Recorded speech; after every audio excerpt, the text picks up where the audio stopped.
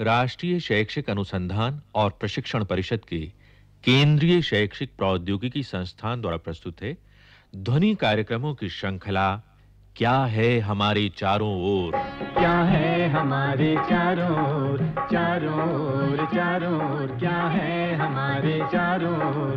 चारों ओर चारों ओर। क्या है हमारे चारों ओर? भूगोल शिक्षण के कार्यक्रमों की श्रृंखला के अंतर्गत अब प्रस्तुत है उच्चतर माध्यमिक कक्षा के छात्रों हेतु एक वार्ता। वार्ता का यह कार्यक्रम एनसीईआरटी द्वारा प्रकाशित भूगोल की पाठ्यपुस्तक भारत, लोग और अर्थव्यवस्था में संकलित पाठ पर आधारित है। वार्ता का शीर्षक है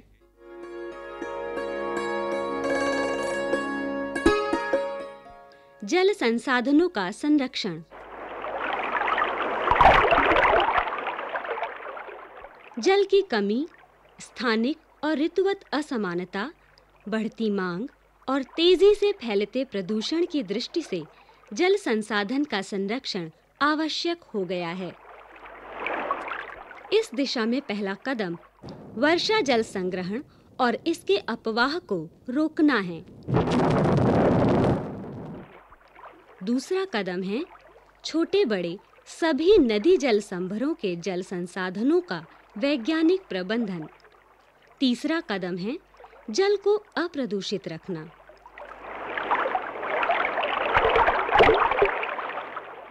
वर्षा जल संग्रहण। यह भौम जल के पुनर्भरण को बढ़ाने की तकनीक है।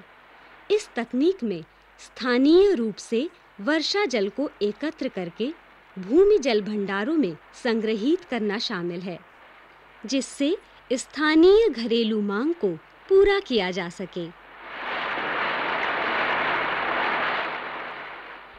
वर्षा जल संग्रहण के उद्देश्य ये हैं। पहला, जल की निरंतर जल मांग को पूरा करना। दूसरा, नालियों को रोकने वाले सतही जल प्रवाह को कम करना। तीसरा, सड़कों पर जल फैलाव को रोकना। चौथा, भौम जल में वृद्धि करना तथा जल स्तर को ऊँचा उठाना। पांचवा, भौम जल प्रदूषण को रोकना। छठा, भौम जल की गुणवत्ता को सुधारना। सातवां, मृदा अपर्दन को कम करना। आठवां, ग्रीष्म ऋतु और सूखे के समय जल की घरेलू आवश्यकताओं को पूरा करने में सहायता करना।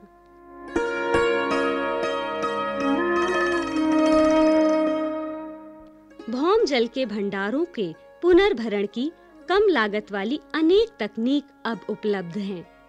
इनमें से छत के वर्षा जल का संग्रहण, खुदे हुए कुओं का पुनः भरण हैंडपंपों का पुनर्भरण रिसाब गड्ढों का निर्माण, खेतों के चारों ओर खाइयाँ और छोटी-छोटी सरिताओं पर बंधिकाएँ और रोक बाँध बनाना विशेष उल्लेखनीय है।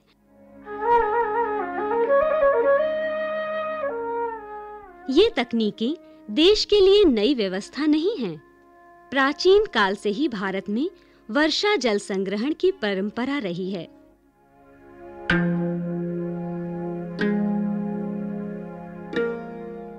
जल संग्रहण के उन्नत तरीकों के प्रमाण भी मिलते हैं। नहरों, तालाबों, तटबंधों और कुओं के रूप में जल संग्रहण होता था। पर्वतीय एवं पहाड़ी क्षेत्रों में छतों के वर्षा जल और झरनों के जल को बाँस की नलियों द्वारा दूर-दूर तक ले जाया जाता था।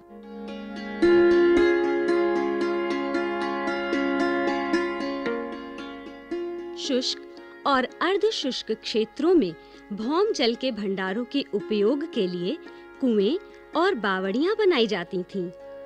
राजस्थान में छत के वर्षा जल को कृत्रिम रूप से विकसित कुओं में जमा कर दिया जाता था। जल संरक्षण के लिए सारे देश में तालाबों का निर्माण एक लोकप्रिय उपाय था।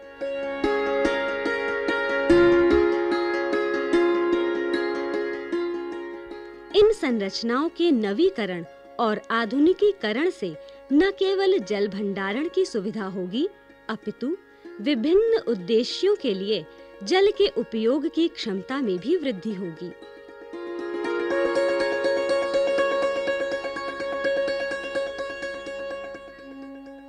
जल संभर विकास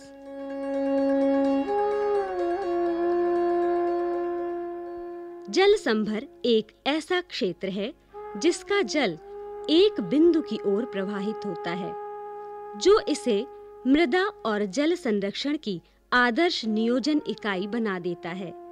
इसमें एक या अनेक गाँव, कृषि योग्य और कृषिक अयोग्य भूमि और विभिन्न वर्गों की जोतें और किसान शामिल हो सकते हैं। जल संभर विधि से कृषि और कृषि से संबंधित क्रियाकलापों, जैसे उद्यान कृषि, वानिकी और वनवर्धन का समग्र रूप में विकास किया जा सकता है।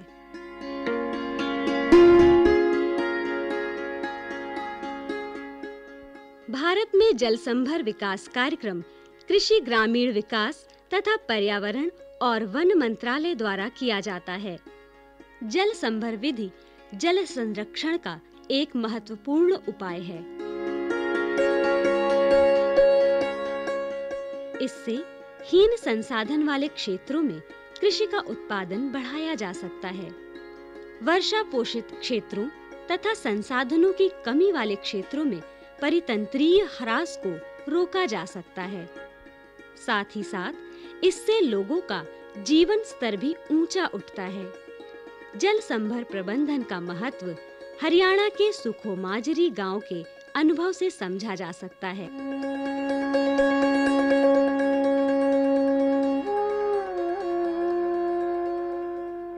जल संसाधन की समस्या।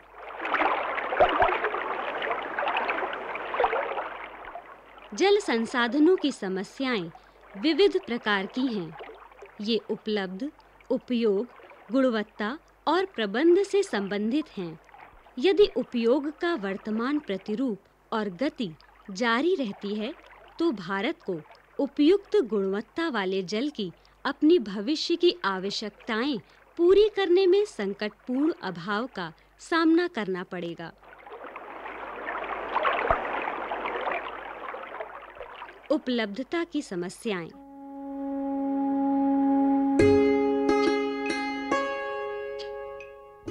पृष्ठीय जल की कुल अनुमानित उपलब्ध मात्रा अठारह अघमी है। इसमें से केवल 690 अघमी ही उपयोग के लिए उपलब्ध है। यदि इसमें भौम जल की 450 अघमी मात्रा जोड़ दी जाए तो कुल योग 1140 अघमी हो जाता है, जो उपयोग के लिए उपलब्ध है। एक परंपरागत अनुमान के अनुसार, भारत में सन 2025 में 1050 अघमी जल की आवश्यकता होगी। इस प्रकार, कुल मिलाकर देश में जल की कोई कमी नहीं होगी। लेकिन हम इस तथ्य की उपेक्षा भी नहीं कर सकते कि भारत में जल की प्रति व्यक्ति उपलब्धता घट गई है। 1951 में ये 5514 घन मीटर थी, जो 2001 में 1829 घन मीटर रह गई। कुछ प्रदेशों में जल संसाधनों का बाहुल्य है तथा कुछ में कमी है। पूरे वर्ष नमी की कमी वाले प्रदेशों में राजस्थान, पंजाब और हरियाणा के मैदानों के पश्चिमी और दक्षिणी पश्चिमी भाग, पश्चिमी गुजरात तथा पश्चिमी घाट के पवन विमुख ढाल हैं। इसी प्रकार ऋतुवत भिन्नताएँ भी जल की आपूर्ति की समस्याएँ पैदा करती हैं। इसके परिणाम स्वरूप वर्ष के अधिकांश भाग में जल की कमी अनुभव की जाती है। इसके साथ ही वार्षिक और ऋतुवत वर्षा में अत्यधिक परिवर्तनशीलता है। इसी कारण से संभावित जल संसाधनों का विवेकपूर्ण उपयोग, संरक्षण और प्रबंधन आवश्यक हो गया है। इस प्रकार राष्ट्रीय स्तर पर मांग और आपूर्ति में संतुलन होने के बावजूद देश में प्रादेशिक और ऋतुवत उपलब्धता अनुकूल नहीं हैं।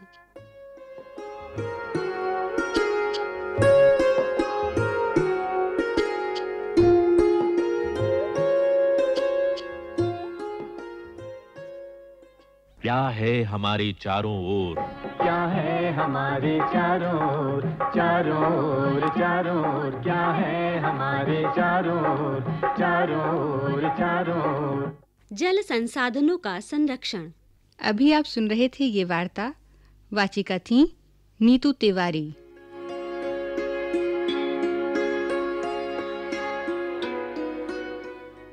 विषय संयोजक प्रोफेसर रामजन्म शर्मा विषय संपादन, आर पी मिश्र, आलेख, एस के शर्मा, निर्माण संचालन, प्रभुदयाल खट्टर, ध्वनिंकन, सतीश लाड़े और दीपक पांडे, निर्माण सहयोग, दाऊदयाल चतुर्वेदी तथा निर्माण एवं प्रस्तुति, वंदना अरिमर्दन।